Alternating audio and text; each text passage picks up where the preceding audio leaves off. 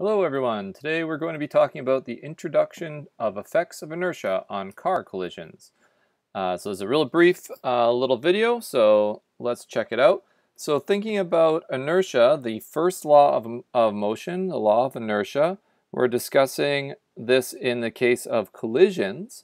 So think about, uh, you know, uh, whether you're riding on a bus or riding on a skateboard or, you know, riding on a bike, um, we, whenever we are brought to an abrupt halt, typically the vehicle gets brought to an abrupt halt. So for example, if you're riding your bike home from school and you hit a deep rut in the, in the road, your front wheel will dip suddenly and then the bike will come to an abrupt halt and you'll be but you the rider will be sent forward over your handlebars. This is not because the bike is exerting force on you, it is because the bike is not exerting force on you. Remember that you can only change velocities if a force is applied. So your body continues to move at the velocity it was moving until something can apply a force to it. In this case, that something would be the uh, would be say a tree that you're going to fly into or the or the the ground but when you are riding on top of that bike or on top of that skateboard, you have no forces applying on you. So your, let's, I like skateboards because I can draw them, and I believe I've drawn this almost before. But if you hit a rock, the rock applies the force to the skateboard, but you have no force, so you continue to move. You continue to go, ah, until you can hit an object that can stop you. In this case, it'll probably be the the ground applying a force to stop your motion. You're going to hit the ground and it's going to apply a force to you and you might even have things like your bones that continue trying to move and as they continue to try to move against the, the, the rock they break and that's how you break your bones while you're when you uh, hit a thing. So uh, inertia is the tendency of an object to resist change. Your body does not want to stop moving. It is happy to be moving. And if no forces are acting on it, it will continue to, to move as the bike stops moving. So if an object's at rest, it tends to remain at rest. Likewise, objects moving at constant velocity tend to continue to move at that velocity. So have you ever ridden on the bus and that has to stop abruptly? Uh, what is the first thing that happens? You can look up tons of videos on YouTube of buses that stop and the people go flying.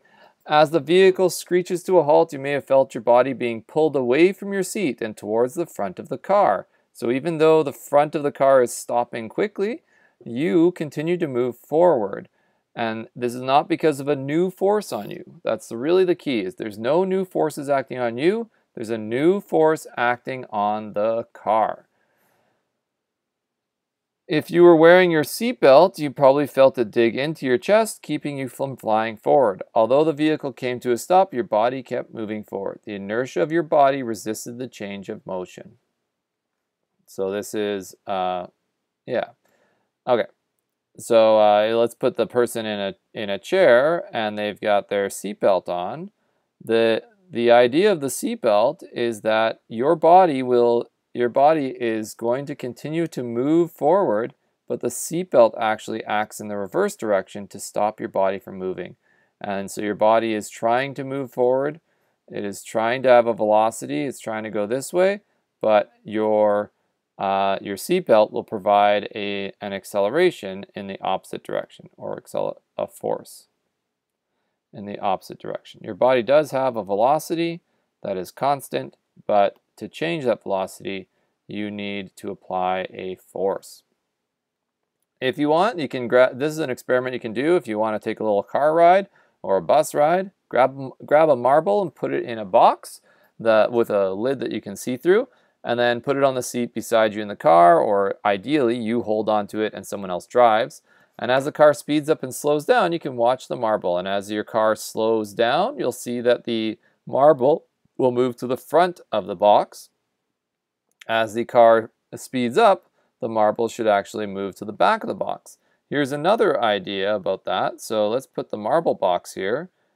And when the marble is when the marble rolls to the back of the butt of the box, that's because the box has a force being applied to it from being on the car seat. And this is going to be my car seat, which is not really going to look like a car seat, but here we go.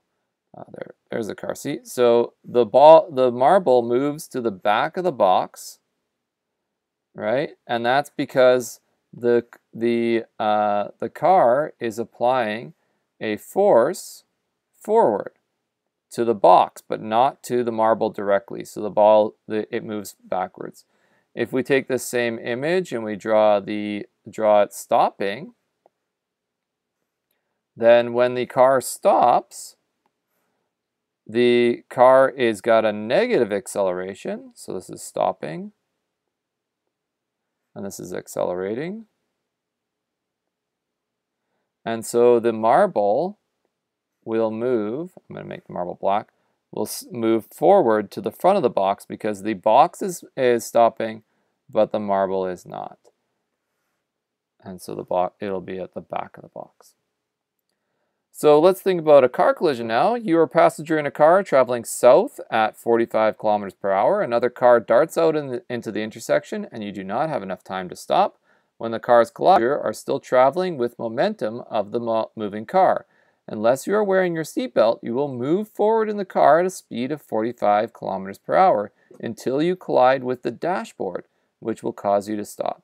Alternatively, you may be thrown from the car through the window at the same speed the car was traveling before the collision occurred. Thus, in every accident on the road, there are actually two collisions. There's the collision that where the car collides, causing the change in direction or the stop of the car. The car, right? And then there's the passenger collision, the second collision, second collision. Where does the passenger go? What causes them to stop?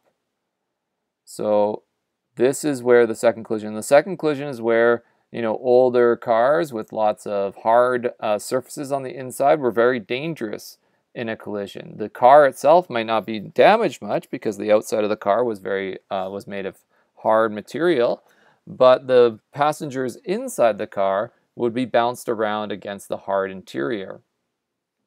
One of the things that changed in car design in the, in the recent years is, the, is what's known as a crumple zone.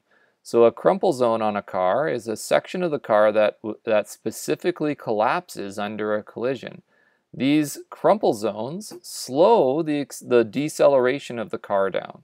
This, this decreases the force acting on the car, and this therefore decreases the amount of force acting on the individuals in the, inside the car and increases the amount of contact the person has with the inside of the car. We know the distance a passenger is thrown from a moving car is proportional in some way to the velocity of the car before the collision. Simply put, this means the faster the car is traveling, the farther a passenger may be thrown in the case of a car collision. We can determine the distance a thrown passenger will travel in this type of scenario if we know the velocity of the vehicle before the collision and the interval of time the, pass the passenger travels through the air.